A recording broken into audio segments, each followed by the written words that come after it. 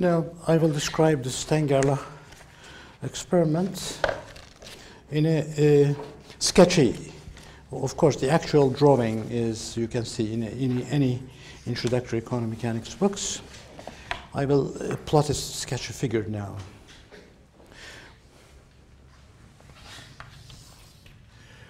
Here, perhaps this profile may be needed. Let me try to Actually, the actual profile of the magnet is quite precise, but the, this is symbolic. I don't mean to say that my artwork is beautiful, it's not. Suppose we have this tip so that most of the magnetic field lines uh, uh, converge towards that tip.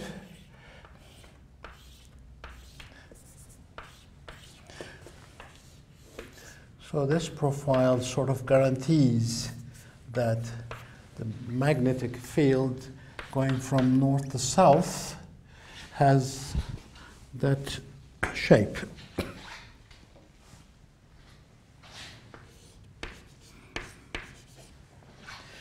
If we take this to be the z direction, and for example, this could be the y, and this could be the x here. y is this way, inside. Z is that direction. Well, this particular form of the B is to give it a space gradient. You'll see the reason why we need a space gradient. This is from uh, the perspective of seeing the profile. Actually, uh, the entire gadget can be viewed differently in a, a, in a, in a more sketch manner. Anyway, here's the, there's an oven in here, and in this oven, uh, they're uh, heating the silver atoms. There are silver atoms in here. Silver atom has the atomic number 47 and that many uh, neutrons uh, as well. So the atomic weight is different. So this, there's a collimator in the front here. And there is a, a, they come out of that oven and they go through this Stern-Gerlach gadgetry. Let's plot it this way, and then they split. This picture, details of this picture is not important because my point is not to give you an artwork, but to tell you the basic principles of how is it happening. First of all, they use, they use those gentlemen in uh, as, as early as 1921 and 22, almost 100 years ago, they use these silver atoms. Nowadays, some people are using potassium as well and other atoms, and depending on their chemical structures and chemical inertness, etc., our, purpose, our main purpose is not that. To give you the chemical information, but what is the atomic structure of the uh, silver? Let me explain this previously based on your previous information, your previous education of the atomic structure, because in this class or the, the further 508, it's not part of the repertoire that we talk about atomic physics. That much is supposedly be learned in the previous classes, so it is not logically inconsistent that I use a little bit of quantum information to analyze the silver atom structure and to tell you why that can be used for that purpose. It is a neutral atom, not ionized. That's important. That's atom, neutral. Because if you ionize it, that's totally different uh, uh, property. Let's take a hydrogen-like atom. Hydrogen-like atom, we know that uh, there are, uh, for each, uh, first of all, it can be represented by a, a, wave function like this. This is previous information. As I said, I, I apologize for using old version, old notation to describe that gadgetry. N is the principal quantum number, L is the orbital angular momentum, M is the magnetic quantum number, so-called. And N runs from 1 to anything. L runs from 0 to n minus 1, and m is accordingly bounded from below and above by the L and L minus L. Why this is important, energy is alpha squared divided by 2n squared mc squared, or if it is hydrogen-like, you have to put in the z. So perhaps the detail is not important, because let me not get into detail energy is labeled by n, the principal quantum number, but the wave function is labeled by NLM. Therefore, if you count the degeneracy, there is n squared degeneracy.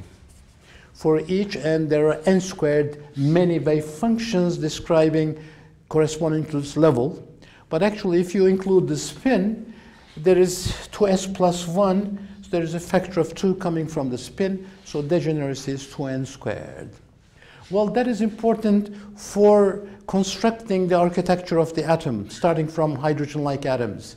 That is, you have Z many protons at the nucleus, you ionize everything, you start packing in the electrons, as if you pack an electrons into a one-dimensional box to, to all the way to the Fermi level. So that is a beautiful mechanism, really. How do you do that? If n, n is equal to 1, so uh, the degeneracy is 2 times 1 squared, 2. So there are two places for the electrons. For n equals 2, 2 times 2 squared, 4, 8. n equals 3, 2, 3 squared, 9, 18. But let's analyze, uh, go to the substructure of those shell structure or so-called orbitals of the atomic physics. If n equals 1, L equals 0, so it's really, that's it. n equals 1 has these two, two electrons only. Here. For n equals 2, you have L, possible value of L is 0 and 1. So this one, uh, what is the, then uh, the total spin? Total spin, uh, total angular momentum is L minus a half, L plus a half. It is 1 half. For L equals 1, total spin is 1 half and 3 halves.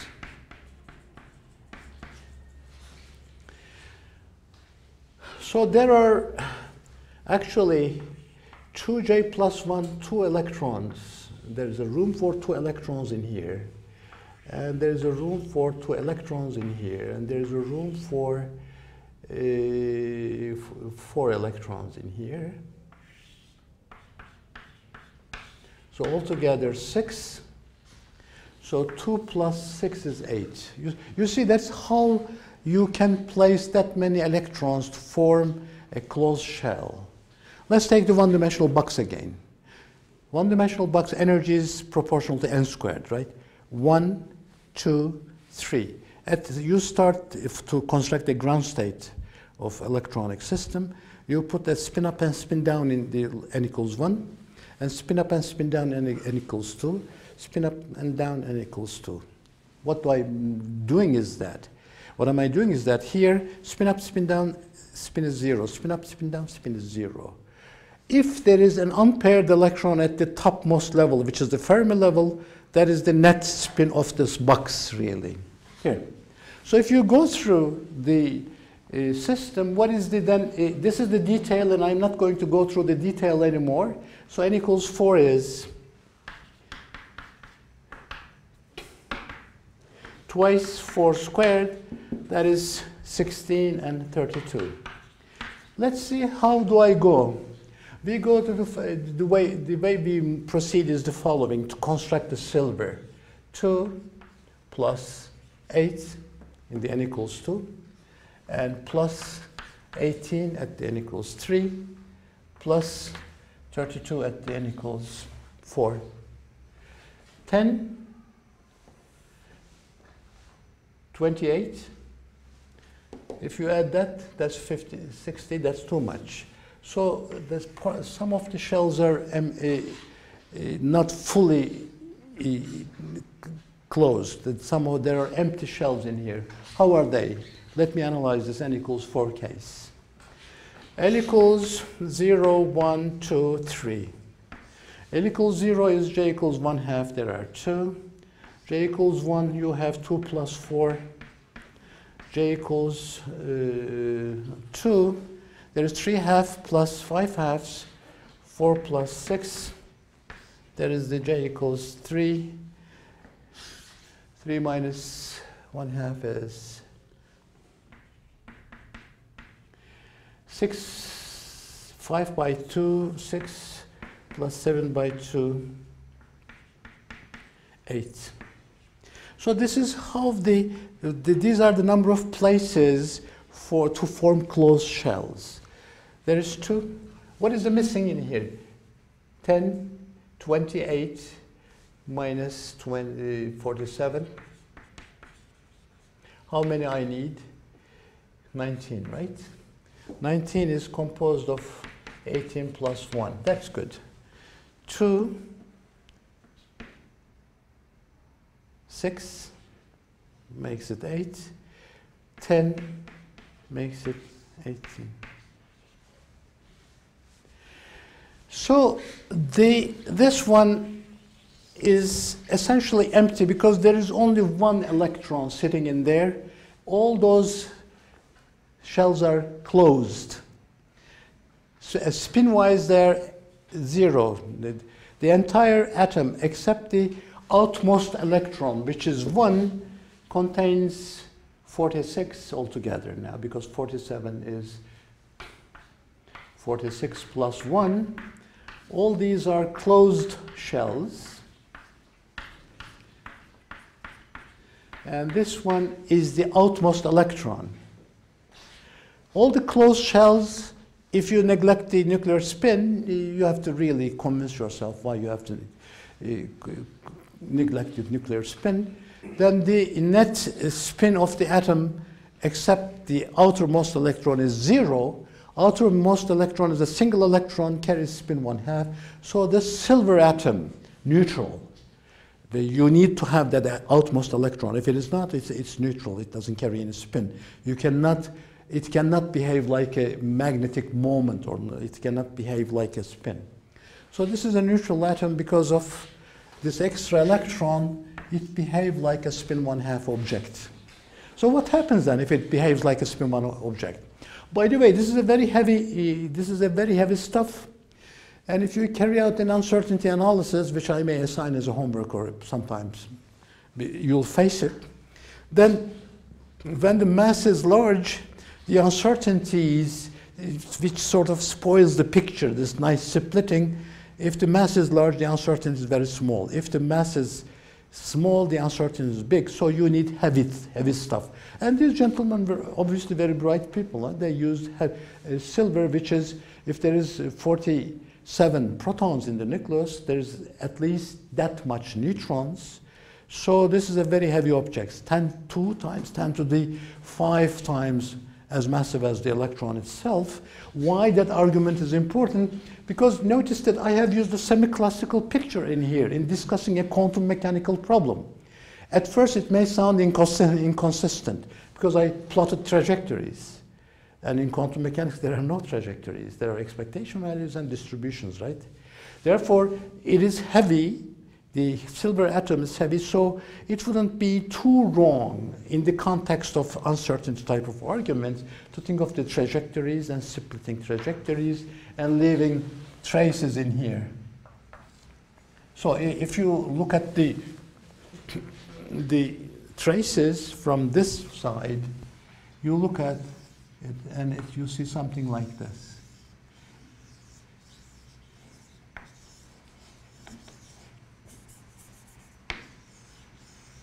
instead of the full, full trace in the photographic plate.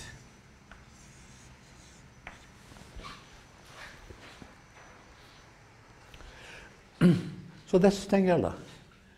This silver atom, neutral, heated, hot, hot atoms, and it's collimated, sent through this gadgetry, and it's split. Let me explain why it is split. In the first place, that is again a semi-classical argument. And of, of, course, we could borrow from the quantum mechanics and make it more rigorous, but we don't really need this. This semi-classical argument is sa safe enough because of the fact that it's a quite a heavy object.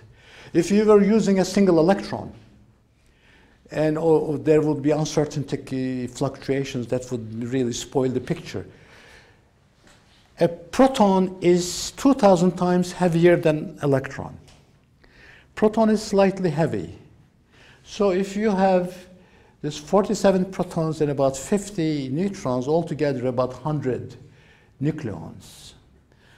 100 nucleons are 200,000 times heavier than an electron. You see, it is really a fluffy, heavy object that you are sending through. Therefore, that explains why you have trajectories and why you can use the semi-classical argument. What is the semi-classical argument? So what is the energy, additional energy or interaction energy of the neutral silver atoms going through here. That picture is that or there. And there is an interaction energy minus mu dot B. Mu is the magnetic moment, B is the uh, field. It's because of this, this special topology of the geometry, know, the geometry of the magnets, there is a space dependence. And B is not homogeneous along the B. It is getting more dense. Therefore, it depends on the Z. It depends on the X's and Y's. And that is to be taken into account in the computations, but that people carry it over. That's no problem. This is the energy. And what is the force. This is the semi-classical argument now I'm writing, and I will uh, justify this. Notice that the, I'm using force, I'm using potential energy, and this is a conserved system, and force is the minus the gradient of the potential energy. If you're not very happy with this, you may say, use the quantum mechanical arguments. What is the d by dt of the p expectation value? Well, it is the I over h bar times the expectation value of the commutator with the p. Well, that's perfectly right. That's, what is it? That's Ehrenfest theorem. Expectation values obey those quantum mechanical rules. So you may have the expectation value version of this equation, but as this uh, the uh, atom is so heavy, 2 times the 10 to the 5 times heavy than the electron, so this semi-classical argument makes perfect sense. So let me proceed with this semi-classical argument. This is the force.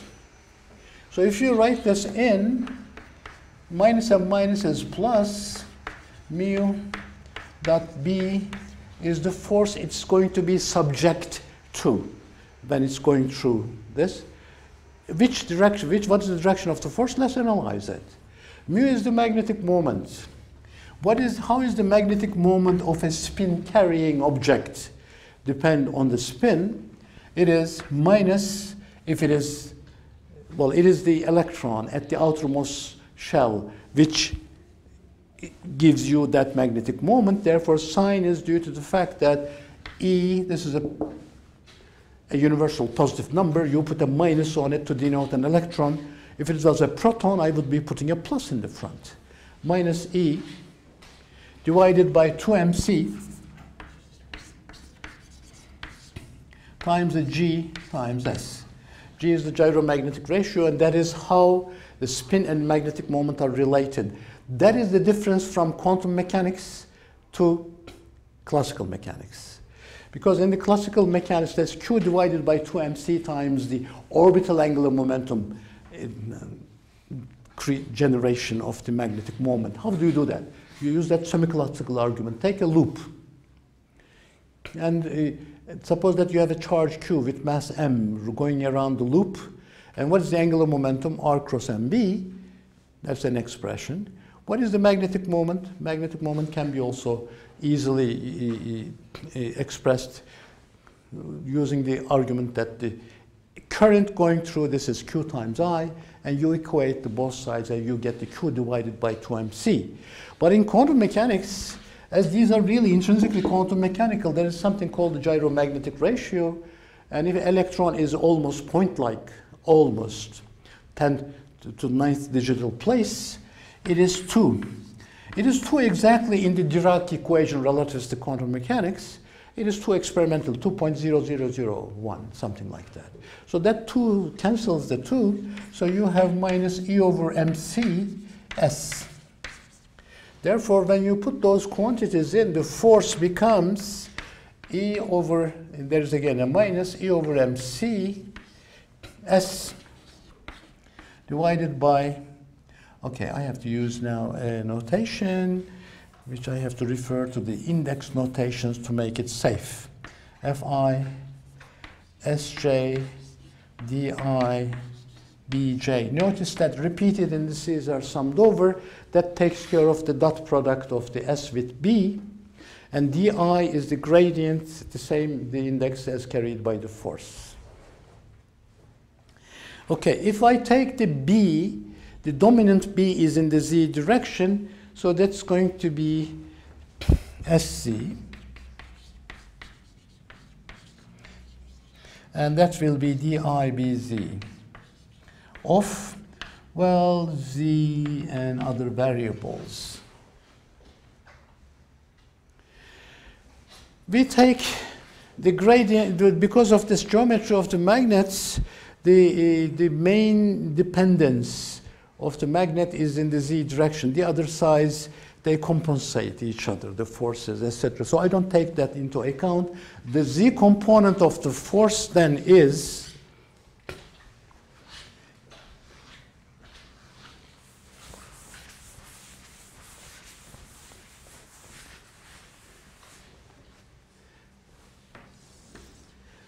Fc is minus E over mc Sc D B Z Z.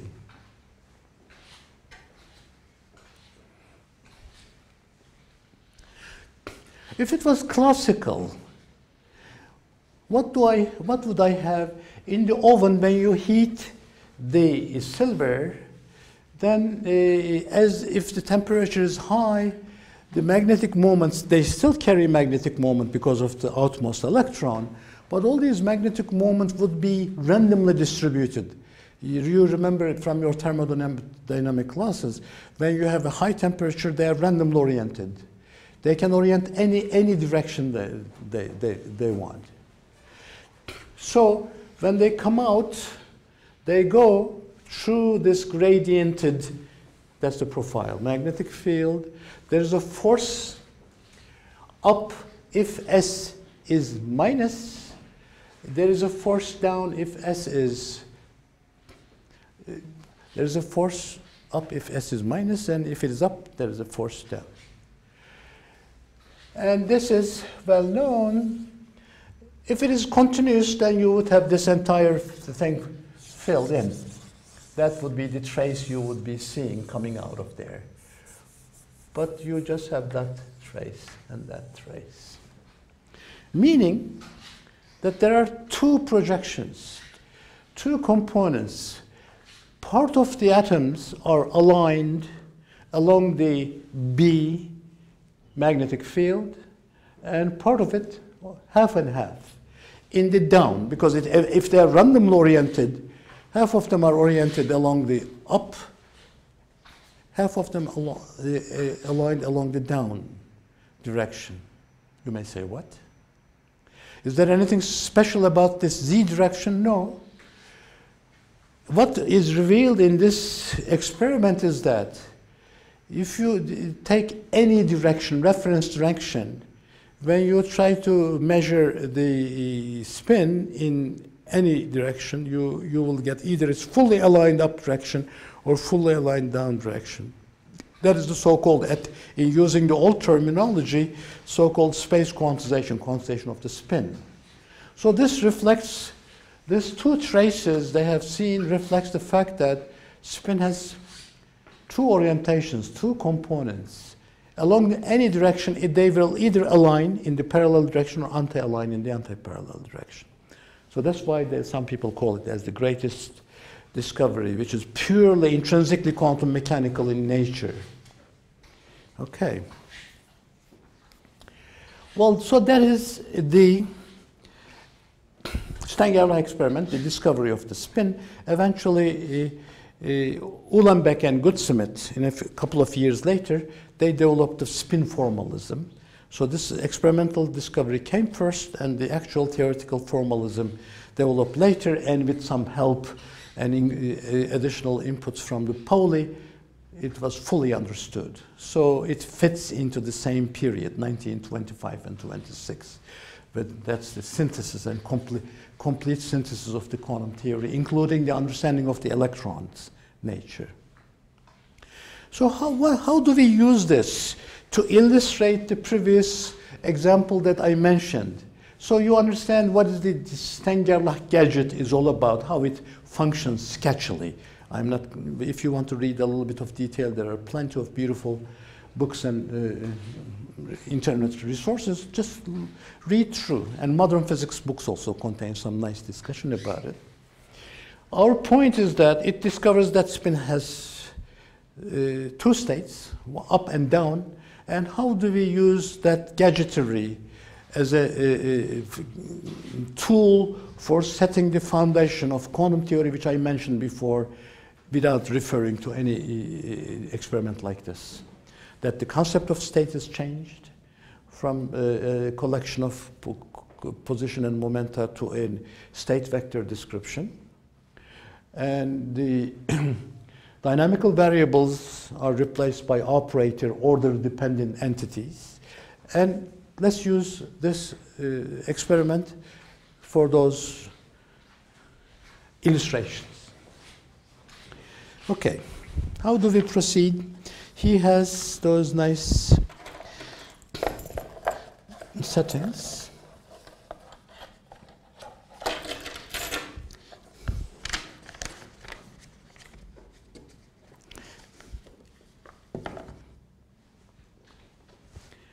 Okay. Let me use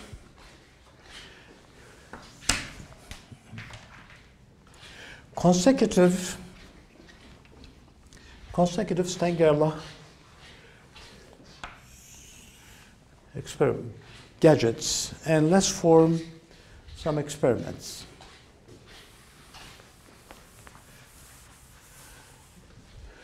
Stern-Gerlach uh, experiment as a measuring tool for spin. It's not, isn't that amazing? So we have now a, a measurement tool. Notice that as we are in the micro world, we have to develop special, special, special tools for measurement. For example, you need accelerators to measure short distances in the atomic structure, stuff like that. They are the micro, sort of new microscope.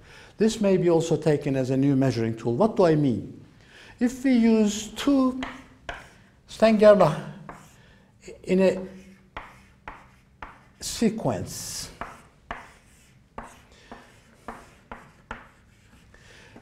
if I put that z or x or y, it means the magnetic field is in the, the gradiented magnetic field is in the z direction.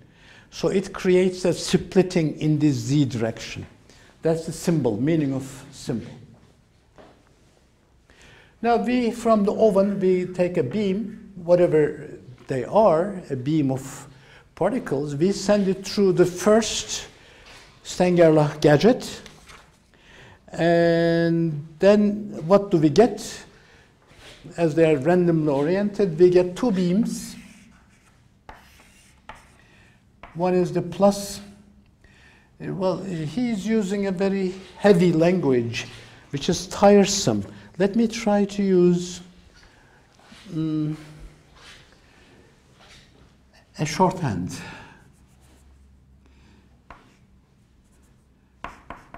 Plus z. No, but I, I don't want to borrow from the future, so plus z. Meaning spin ups and spin downs.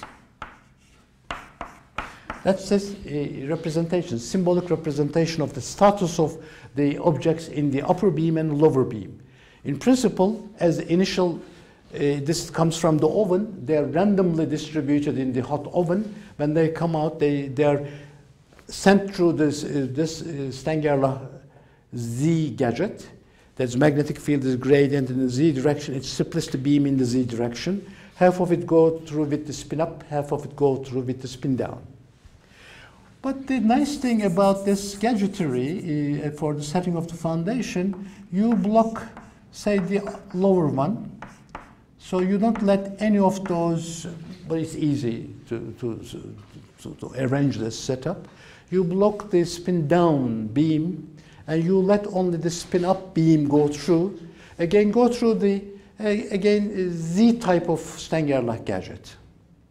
That is magnet is in the Z direction. What you see is nothing here. So it, you get a Z beam out. If you repeat this, put another Z gadget, you get a plus beam, a plus beam, a plus beam. Remember I said if you uh, prepare the system and make a measurement on the Q variable, so you got a Q1 result, repeat the same measurement, you get still the Q1, Q1, Q1. Here, out of, there are two possible results, either spin up or spin down. I had obtained a spin up and spin down, block the lower half. And so what is reaching in the second gadget is a spin up.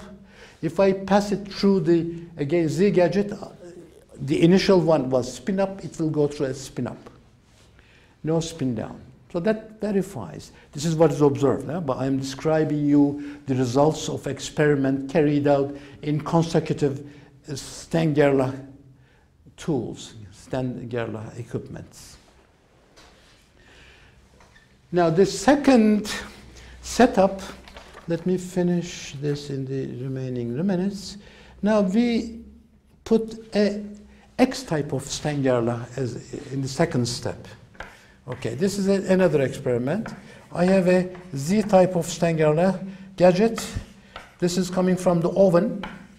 So this is the randomly distributed one. So it is again polarized. Well, half of the beam is polarized in the Z direction, and half of the beam is polarized in the minus direction. We again block the down polarized beam, we have the up polarized one reaching. Now this time I am putting here a X type of Stern-Gerlach gadget.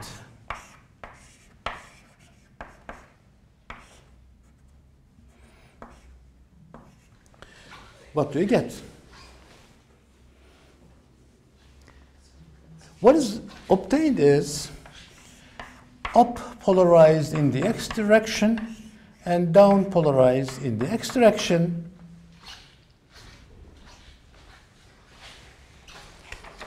QPP, remember my abstract example? So this gives you results of the spin along the x directions. Originally I had a, a z polarized beam, that is beam polarized in the z direction.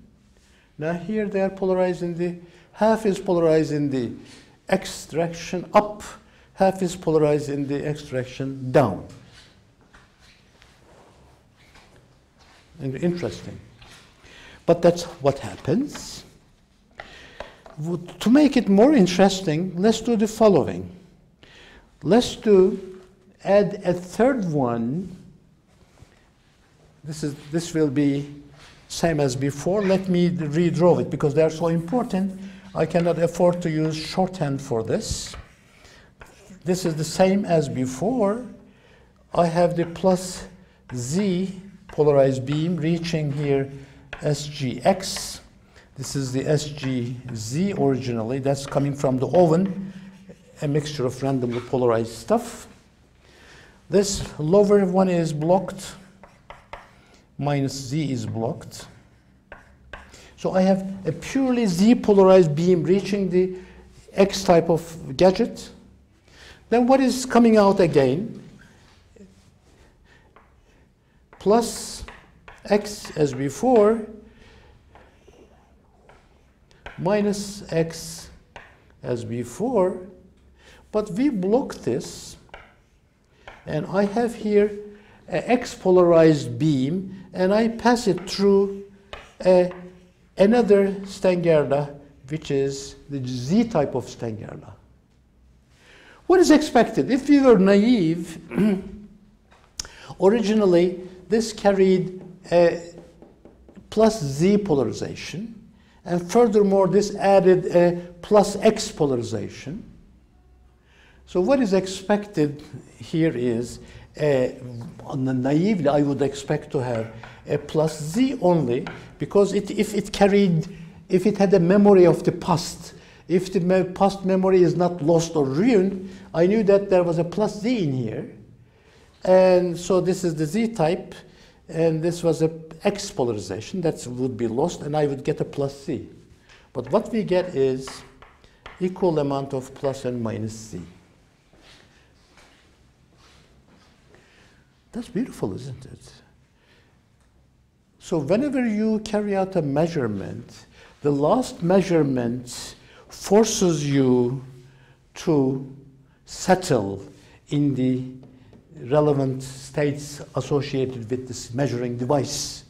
If you are measuring the z component of the spin, it is the z states enter we are going to call them, we are going to identify as the eigenstates of the SZ operator. So this is really amazing. This naive interpretation that mm, it would carry this information over and that information over and you would get plus C is obviously totally wrong.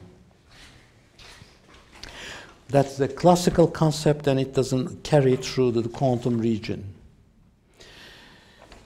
Well, the book, I'm not 100% sure that that's a good analogy. Let me explain before moving into that subject, and we may take it up next week. Either we may proceed following him carefully, or we may have a better argument produced at the time. He wants to make sense out of it and uh, draw results concerning the definition of state in the context of quantum theory, how I have described them in an abstract manner before, but in this context, how we do, how we, do we define a spin state? That's one thing. And what are the spin components, x, sx, and sy, and st, what are they?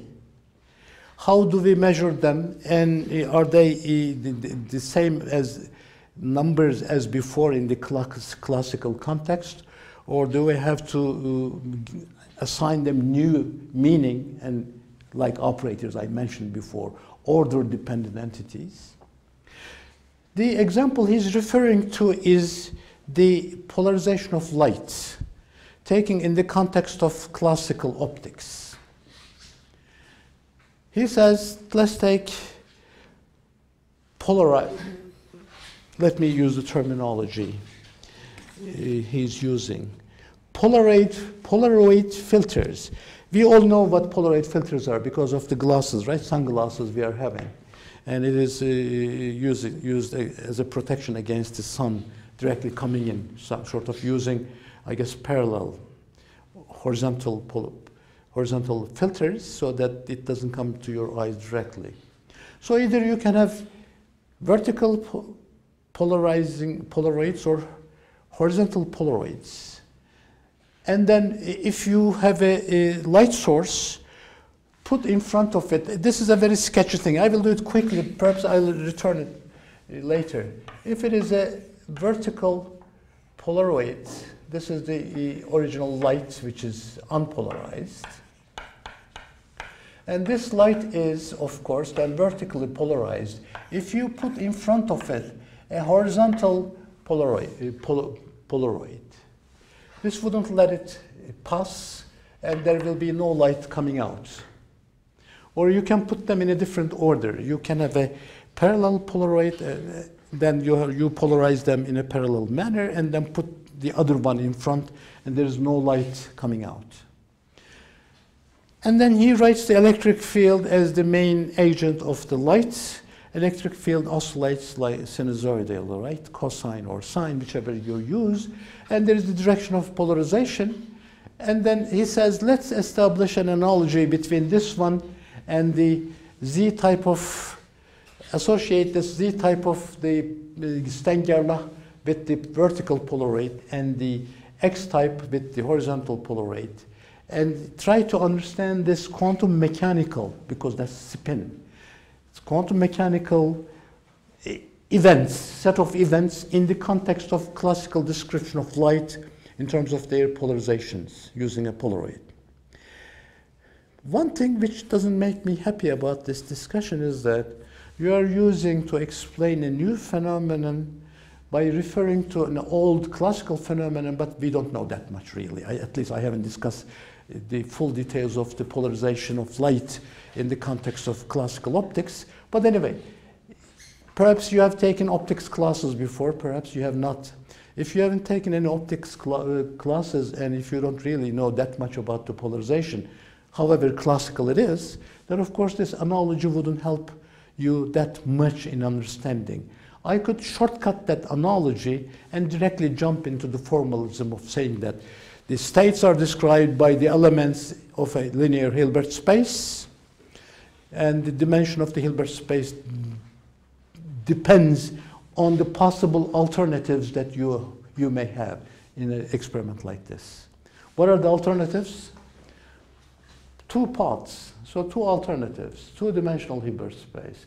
If it was a spin one, instead of silver, if, if I used another thing, which would have three, three beam splitting, then I would have a three-dimensional Hilbert space, etc., etc. So I will decide till next time which avenue we, are, we, we will be following. We have a very much, quite a good uh, level of understanding we have achieved through the help of Stern-Gerlach. I think I can jump into sort of pure mathematical discussion to construct the Hilbert space uh, starting next week. So that's it for today.